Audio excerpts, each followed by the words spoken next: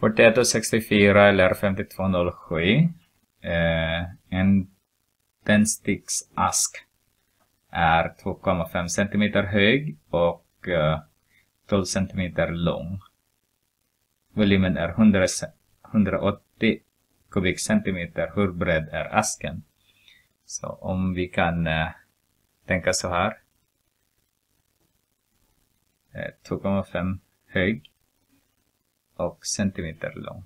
Så om vi ser så här. Så.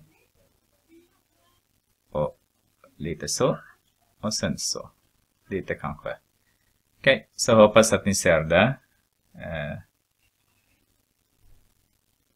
där är 12. Och det här är 2,5. Och det här är bredden. Vi kallar för x, det vet inte vi. Så volymen är lika med stort B multiplicerat med H. Så har vi volymen är lika med den här. Brukar vi skriva A multiplicerat med B multiplicerat med H. Men vår A är eh, 12 och H är 2,5. Så vi är lika med A multiplicerar med B är X multiplicerar med H. Jag vill ha bara X ensam så har jag AH. AH där.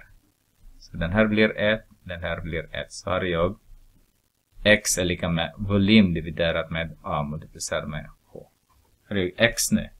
Lika volym är 180 kubikcentimeter dividerat med 12 centimeter multiplicerat med 2,5 centimeter.